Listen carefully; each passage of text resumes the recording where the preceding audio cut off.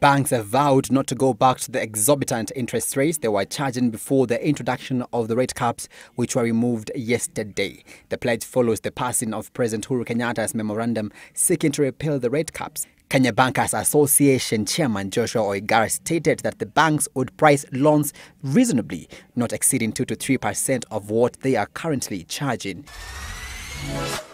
A consignment of cocaine and heroin worth over 589 million shillings was today destroyed at the Forensic Lab at the DCI headquarters here in Nairobi. The destruction of the drugs was supervised by Interior CS Fred Matiang'i, Inspector General of Police Larry Mutyambai, DCI boss George Kinoti, and High Court Judge Justice Luka Kimaru.